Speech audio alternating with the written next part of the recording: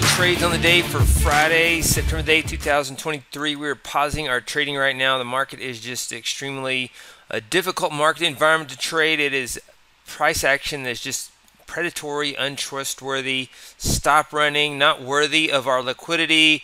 So we are going to stop and celebrate our quarterly equity peak. We're up on the quarter, so that's one thing, one positive to take from this. But this just brutal. Uh, last two weeks have just been extreme.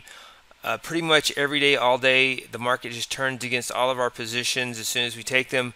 And it, the only energy it seems to have is when we take a net position, it takes energy in the opposite direction. So we're up on the year, up on the quarter, brutal month, brutal week. Um, just continuously down since our last equity peak on August the 24th. And so um, you know, these drawdowns happen. We're looking at the market uh, change, potentially a regime change back to 2017, 2019 levels. There's just a lot of trend fighting, very, very narrow VIX and ranges. Let's look at the portfolio calculator. But first, the trades on the day. Um, we're just going to look at the money management algorithm indicator uh, 31.52 minus 31.52.50 on the stock index portfolio 32. We're also trading, we added the zigzag to the mix, and so um, this was down further, about 4,000. So we talked about stopping it being down four, anywhere from 4 to 5K today. Uh, we added zigzag uh, in an effort to take advantage of this chop. So you can see Zigzag is down today, 1600. Our soybean strategy is down 350. Crude oil hasn't traded. Just uh, pretty much every trade is going against us, and so you can see the current net position is long three S&P, long one Nasdaq. The market could rebound. Uh, the, the strategies could rebound, and the market could present some favorable price action. But this has been uh, more extreme, and it's not just this current drawdown we've managed to uh, be profitable the last few months, but um, and on the quarter we're up net, but the results are um, extremely narrow. You can see that in the portfolio calculator. This is updated as of Wednesday. It doesn't include yesterday or today. And so um, minus 15, 132.50 as of Wednesday. And then add today's results to it, taking back the gains of August and July we started on a drawdown, so we were ahead for July.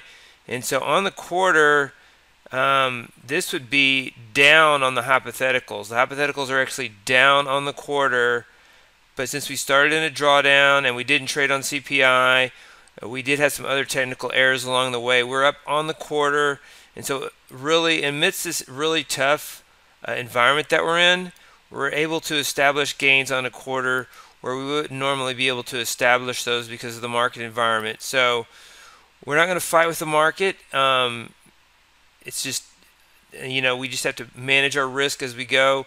See, June was a good month hypothetically, and then May um, is also very narrow. So, you know, May, July, August, September, um, four out of the last five months have just been kind of um, going back towards 2019, if you look at 2019, it was a plus 79k year, but just you see these smaller numbers because volatility and ranges were low. This is pre-pandemic, and then 2017 was a plus 9k. That that was the year I think when the VIX was down at seven, its lowest levels ever, and right now it's at you know 13 today, and so they're trying to crush it.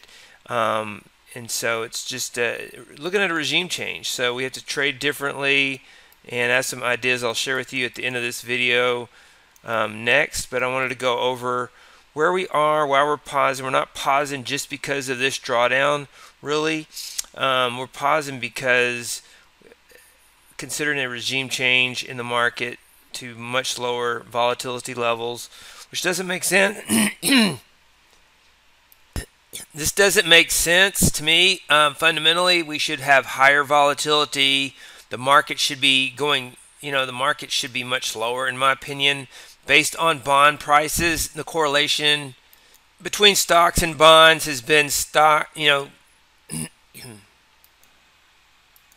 had to clear my throat. Um, you know, stocks were up, bonds were up, and now bonds are down and stocks are still up. And so there's that big difference there, that spread difference. Bonds down means higher interest rates. And so here's the Fed balance sheet, and you can see what happened during the pandemic. And you see, um, you know, it had gone up in recent years since the financial crisis, and it's doubled. It was at four billion, and it went up to nine billion, and it, and they've reduced it, but not not really that much. Um, it's, it's still above eight billion. Eight billion. So, in my opinion, I, this I believe this is one of the reasons the excess liquidity is one of the reasons why stocks still remain higher um, amidst higher interest rates and should should be lower. And, and if, if we didn't have a Federal Reserve, we didn't have a Fed a balance sheet, um, someone doing QE, printing money, um, I think stocks would be freely, more freely traded and prices would be much lower. I mean, you can see it in the nature of the market, and you can see, um, you know, the market is it sells off, and then it thinks it's supposed to rally back because of the excess liquidity.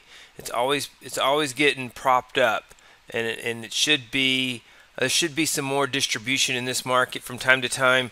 You know, overall, it's great to have a U.S. stock market that goes up, but you know, it should go up. You know, it ebbs and flows like this. Longer term, prices will be higher rather than this desire to create a straight line equity curve that goes higher and goes up every day, uh, trading differently than normal. And so we just had a long period, long season of the market trading that way, and it's still uh, kind of built in. Pavlovic response is still built in, and the excess liquidity supports this uh, unnatural price action. And we've been we've been part of uh, joining into that and enjoying those moves. Um, right now, they um, the sellers are matching the buyers uh, in a tight range, and so I do better in my research when I can pause my live trading from day-to-day live trading. The stress of that, and so I will find a better setup, and we'll work with the current regime change. I have some other ideas as well, and I want to show you that. When the markets get very narrow in their daily ranges, you have to consider um, either finding a really good counter trend strategy, which is hard to do, or uh, when VIXs are low and ranges are low, you have to maybe consider swing trading or even using options to swing trade. And so here is an example of a strategy. Um, in the S&P, here is what it looks like in the equity curve. You'll notice this goes back 22 years and really did really well until 2009. What happened in 2009? QE.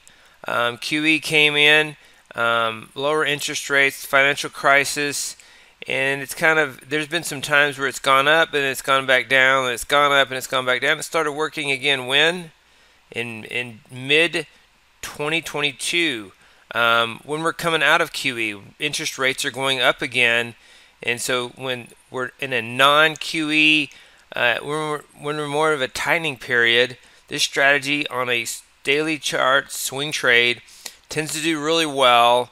And so looking at potentially trading this with options because this does not have a stop loss. Here is here are the results: 205,000, uh, $53,000 drawdown, 91.67 average trade profit. Um, no stop loss. Biggest losing trade is 16,000. Um, and here's what it's done in the last 12 months: 65k. In 2020 did 48k. 2022 did 35k uh, 31K in 2016, and then 44K in 2008. And so good years when when we're not in a easing period of interest rates, and then um, then there when we're tightening, the results are better. So this is one thing to consider is options trading, swing trading, and using options to do that to limit your overnight risk. If you don't like to hold outright futures positions, this is something that could be considered hardly any drawdown since. Matter of fact, let's go back to June to um, the beginning of this and see what the worst case drawdown is in July 15th, 2022. So here it is, it's July 2022, 13K drawdown on a closed trade basis. And um, $709 average trade profit. And it takes long and short trades. 56 on the long side 29 on the short side. Lower drawdown on the short side surprisingly. And here is the equity curve. So one of the things that we may also uh, see start to work well again are the SR counter trends in all markets. So here's the SR counter trend 100k portfolio on my pay on my portfolio page. And so a lot of these markets have been difficult to trade since the pandemic uh, extra volatility. Now that we have more normal interest rates and we're seeing um, you know lower volatility lower ranges 2017 2018 2019 these kind of strategies may start working again. That's why I've looked at adding soybeans and grains. And then you see it's also in a drawdown. So it's possible that this SR counter trend setup for the other markets may work. You know if the NASDAQ we're we had a lot of strategies that did really well, you know, in the NASDAQ environment where, you know, it pops 300 points or pops 200 points or pops four or 500 points. Um, and having these quick moves, those were nice.